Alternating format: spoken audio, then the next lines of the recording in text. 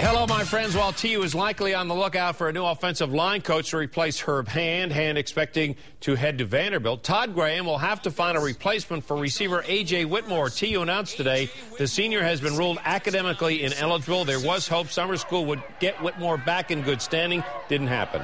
Whitmore has 16 career touchdowns with the Golden Hurricane. The Cowboys have arrived in camp in San Antonio, including Dez Bryant. They signed yesterday to a five-year deal. Jerry Jones can't hide it with a Super Super Bowl coming to Dallas this season. He wants to be the NFC representative with Dez Bryant making lots of catches. We've had some close experiences in, in maybe knocking on the door of the Super Bowl. Uh, there's pressure to, to do well, and anytime you have pressure to do well, I think you do better. Uh, I don't even know that they need to be reminded that close doesn't count, and that uh, uh we all know we've got an opportunity, and it's easy to see uh, that it doesn't sit there for you forever. Hall of Fame game against Cincinnati. Game on Channel 2 August 8th. Driller